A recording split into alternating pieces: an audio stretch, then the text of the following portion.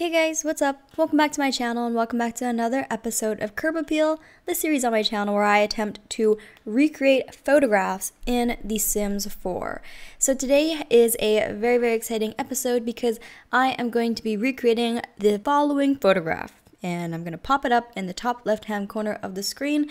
It's this cool tree house that is in a tree. So it's like a legitimate tree house that's in a tree hence the word treehouse. But, anyways, I thought the picture was quite cool. It had a lot of cool dimension. It was also small enough that it was feasible. And then I thought we could get a little bit creative with how we incorporate the tree into the home. So it looks like the tree is in like the middle of the home and it kind of goes up through the center. And then on the bottom, there's like a cool little like patio balcony area and then all the living area is up at the top. So I thought it'd be a cool one to recreate. I've seen this photo floating around the internet a ton Pinterest, Twitter, Reddit, Instagram. Even you guys might have submitted this photo too, but nonetheless, it's been sitting in my build folder for ages. And I thought now that we have ladders, now that we have terrain tools, now that we have, you know, stairs, like we have a lot of features now that I feel now that we have the window feature where you don't have to center, like you can put windows wherever you want, I thought it'd be a good time, a good time to finally attempt to recreate this photograph. I think back in the day, back in the old days of curb appeal, it was really difficult to look at a photo and decide if I was going to be able to build it or not because we had a lot of limitations in like remember when we didn't have terrain tools and or terraforming or whatever you want to call it? And when we didn't have ladders or like when windows were confined to a single a single grid things have come a long way since before like since I started building which was like 2 years ago. And it's honestly so cool to see how many more photos we can recreate in The Sims now that all these features have been added. So I'm really glad I sat on this photo for a while and didn't jump the gun because now I think I can get a like more accurate representation of this photo in The Sims now that we have these added features. So I'm glad I didn't build it like last year or something. But anyways, that's a long intro talking about things we did and did not have. But anyways, you can see here pretty much I have done the kind of like foundation of the home. Basically, I chose the tree first and then built the like deck around it and left a little square cut out in the middle so the tree could fit at the bottom. And the tree is only like a one tile tree anyways, so it slots right in the center there. And then I made it um I put like the home on the second level and then just put some nice, I think there's seasons or get together columns around the outside of the home just to give it that nice stilt foundation. And then I used the base game stilt foundation. And instead of using a staircase, I actually ended up using the ladders. Um, as you can see in the photo, they use a combination of a ladder and a staircase. I just felt like for this build, just a ladder would work best. Um, I do actually end up changing the tree later as well to, I think, a tree from Debug, so you'll see me change it later. This one was just a little bit too spooky, so I am happy with the one I ended up going with later.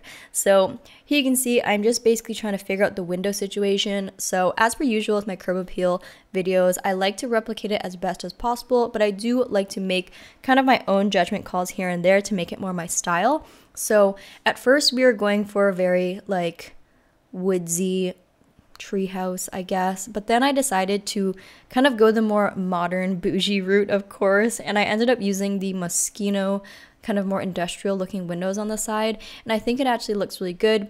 It gives it a more like modern feel. So it's a nice, cute little treehouse. This is in Granite Falls, by the way, so it is a vacation lot. But then it has a little bit more of a renovated feel to it. So it's like if you want to go and stay in a treehouse on vacation, but you want it to be bougie. Like you want a nice Pinterest worthy Airbnb kind of experience, if you know what I mean. So that's kind of what we went for with the vibe here. I also used a cool little trick where I made a skylight. Um, I don't know if you guys saw me do it. You can feel free to watch it back if you want to, but I pretty much just layered a couple of roof pieces on top of each other and then used the glass swatch on one of them to kind of make it look like there's this little cutout where there's a skylight in the ceiling or in the roof. There are tons of tutorials for it on YouTube if you want to see it more step by step. But otherwise, it's pretty easy to figure out. You can just watch it back. Uh, I just did it a couple seconds ago. Um, but I do end up playing around with the color swatches quite a bit. There isn't really a clear color scheme in the photograph. It's kind of just like white and beige and brown and gray and, and nothing too too special. Really the structure is what makes this build stand out, not so much like the color scheme necessarily. So at first I had like a white and brown color scheme, but it was just a little bit too harsh, a little bit too like dare I say tacky. Um, not that there's anything wrong with it. Obviously, I was I was trying to do it for most of the build, but then I decided to change it to more of like a white and beige color scheme. I think it looked just a little bit more luxurious, a little bit more just a little bit more nice and gentle and pleasant to the eye.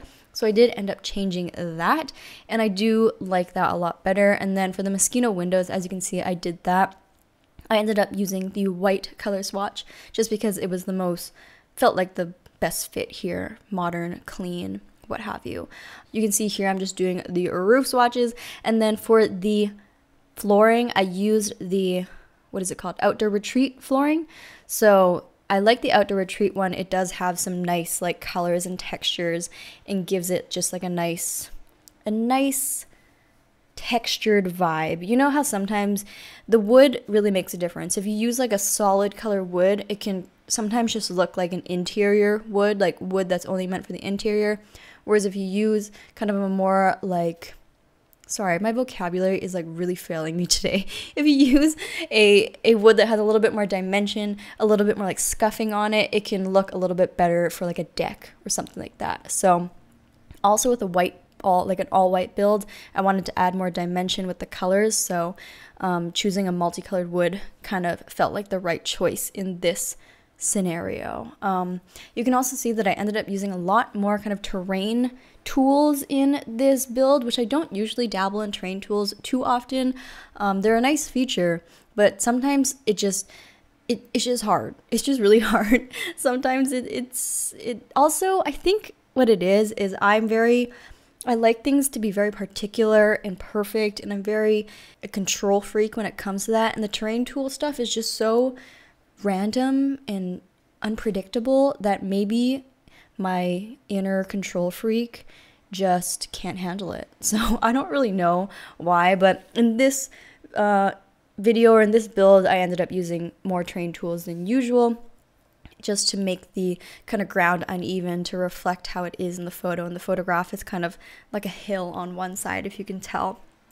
So as for the specs of this home, it is only a one bedroom, one bathroom home it can only really fit like a couple. So maybe if you guys are going on a honeymoon or something and your sim couple is the type of people that likes to go into the forest or go camping or something on their honeymoon, this could be cute. Or if you just want a nice little couples retreat getaway, or if you're just dating somebody and, and you want to like go on a little vacation with them, your sims can come here and and have a nice time out in in the green getaway lot in uh, outdoor retreat. What's the name of this? Granite Falls. Granite Falls. So here you can see I'm using the debug menu to pull off these little fences. They're actually really, really cool. I found them in the debug. What pack are they from? They're actually from the outdoor retreat pack, it looks like. Um, I don't I'd never seen these fences before, but I think they're so, so cute and a lot like this. They kind of look like they're made of wood and they're kind of falling over.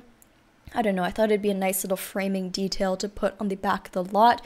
Sometimes putting like a formal fence around an entire lot can look too formal, if you know what I mean. So putting a little disheveled fence just in like little areas of the lot can make it look a little bit more casual and also make your property feel more private without fully closing it off. So sometimes I like to add little details like that. So the main kind of living area here is what we're doing and it's the bottom kind of patio section. It's like a it's not really a patio. It's like a deck. Um, but the whole bottom floor is all outdoors. It's fully undercover, so it is nice to have. Um, if you're staying here, obviously come during the summer or something like that, and you can stay and hang out at the patio underneath the whole time. I'm gonna put a barbecue. I end up putting like a little living area, a fire pit too, I believe, and then you can just eat and, and relax out here. I didn't put a hot tub, unfortunately. Maybe I should have. But I didn't. if you do download the slot, feel free to put like a hot tub or something else. But it's just a nice place for your Sims to come down and relax and and stay outside and enjoy the nice summer forest breeze. But I do really like making little outdoor spaces like this, and I think the fact that it's undercover too um, makes me really want something like this in real life. I really like covered patios. I don't know why. I recently went to my friend's house and she redid her entire backyard. It used to be just like grass because they had a dog. Unfortunately, their dog passed away, um, so they don't really need all that grass anymore. So they completely renovated it and like put nice stone tiles down the whole thing and then bought this huge like gazebo cabana type thing. And then they have a nice big sectional couch underneath um, and then like a fire pit and then the entire like cabana gazebo thing has like a mosquito net thing that you could close off. So if you want you can like sit out there at nighttime in this nice undercover patio thing and not worry about bugs and i don't know something about an undercover like covered patio just seems very luxurious. Um, so she's very very lucky. We went and sat out there for a long time and it was super super fun and I definitely need to I need that in my real life. I just someone needs to get me a nice house with a big backyard. Anybody? Anybody? so you can see I'm actually using a lot of the hanging plants from the Nifty Knitting Stuff Pack. You gotta love the Nifty Knitting Stuff Pack. If if anything, get it for the plants, you guys. The plants are worth the $10 price tag. I'm not even gonna lie. They're so so good. Um, I can't believe Nifty Knitting was was the pack to give us hanging plants, seriously. But you know what? You can't complain. Also, even better, wait until Nifty Knitting goes on sale. It'll be $5, 50% off. Then it's definitely worth it for the plants. Um, it's so funny. I always encourage everybody to like wait for sales. And honestly, is there really any other way to buy a stuff pack or buy any pack from The Sims? The Sims has so many sales on their packs, so pro pro life tip don't buy things full price ever. But here you can see i'm doing the top floor. So the top floor has the bedroom. Now it's kind of like a loft style bedroom i guess and then there's a ladder that goes up to it. Um, here i'm doing the bathroom and i'm doing kind of like a cool i don't know if it's cool it's kind of like a trick. I wanted to make it feel a little bit more treehousey. So I ended up using these little log benches as like a countertop. Uh, you guys know that I've been using the marble piece a lot lately in the bathroom and trying to repurpose that, the marble piece from Dine Out that is. But since this was a treehouse, it wouldn't really be appropriate to use like a marble piece here. So I wanted to try and replicate that trick, but maybe with this kind of log bench. So it's actually a bench that comes with Outdoor Retreat, and I just used the white swatch. I raised up the item a little bit to make it look like a countertop, and then just use the Island Living sinks. So hopefully it's still functional. I have to play test it, but I don't see why it wouldn't be. But it is a cute little trick, um, just a nice way to repurpose some items and kind of fit the vibe of this whole treehouse thing. Uh, just a little bit cooler than your average regular bathroom. So hopefully it works. Let me know what you guys think of that trick and if you guys are going to use it and if you guys have any other items that you think would work well in a bathroom for me to repurpose because you guys know I hate bathrooms. I hate, hate, hate furnishing bathrooms in The Sims. It's boring. It's honestly just boring. All my bathrooms look the same. So I've actually been trying to make a conscious effort to be a little bit more creative in the bathroom area when I decorate to try and just get out of my little hole of hating bathrooms and actively try and be a bit more creative and push my inner boundaries a little bit more. Um, so I encourage you guys to do the same. If there's any aspect of the game that you're bored of or you don't like, try and improve it somehow. Um, at least try. If you fail, that's fine. Maybe it's the Sims. Maybe it's the game's fault. Um, but yeah, at least try. I don't know. That's what I'm trying to do. Maybe you guys want to do that too. But you can see we are doing the bedroom part. So I made it yellow, which is weird because I don't like color. But here we are, a new girl. the second half of 2020, I'm a new person. Colorful bedrooms. I like bathrooms. Who is she? Who am I? I don't know. But here we are, just um, making a, a nice, colorful, sweet bedroom. It is quite feminine looking, I will admit, but I think this whole house is very cute, and I imagine it being kind of like an Airbnb type of a lot. And you know how Airbnbs always have like cool, cute, like Pinteresty color schemes. So, I mean, I felt it was semi appropriate, and I just wanted to use yellow. Sometimes you just feel like using yellow. sometimes, not often, but sometimes. Um, here you can see we are on the kind of like main middle level of the treehouse, and we are putting a kitchen. I contemplated not putting a kitchen just because maybe it wasn't necessary, but I had some space and I thought it'd be nice for them to have the option to actually cook a full meal. Um, if they don't want to use the barbecue downstairs, they can actually cook some breakfast or something like that, especially if you there's no like restaurants nearby in the forest. So they probably need to have some form of cooking appliance here realistically if we're going to be talking realistically you know because the sims is is real life you know what i mean um but I do like kind of how open it is. I put windows all over the inner part so you can look into where the tree is. The tree is a debug tree, so because it's a debug tree, you can't actually see it because it disappears when you get too close. So I'm not sure if it will show up in my screenshots, but it is kind of nice for actual gameplay. The tree won't get in your way, but when you kind of zoom out and you're looking at the lot from the outside, you will see the tree. So kind of a nice feature of debug items. Uh, it just like doesn't really get in your way when you're playing, so I quite like it. But if you do want to see the tree, you are free to swap out the debug tree for like a real catalog tree, and then it will, you know, be present for the entire time of your gameplay, if that is your preference. But you can see we are basically done. It is a tiny home, technically, I guess. It's very, very small, very cute, but I think it is jam packed full of nice, tasteful decor and good comfy, cozy vibes, especially if you want to come relax here on a nice vacation or a honeymoon or a romantic couples getaway. Uh, I really hope you guys enjoyed it, and I hope you guys enjoyed me doing a kind of different build and experimenting with some color and some cool bathroom tricks and just. Uh, I had a lot of fun doing this one. I did do it on stream. So Thank you guys so much for watching today's video. I really hope you guys liked it. If you guys want to submit your own photos for me to recreate in Curb Appeal, I do have a Discord server, which I'll link down below, where you guys can submit your photos into the server, and then I will recreate them for you.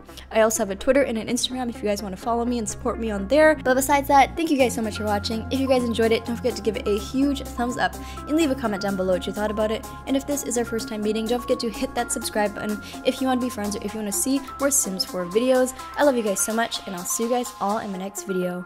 Bye, everybody!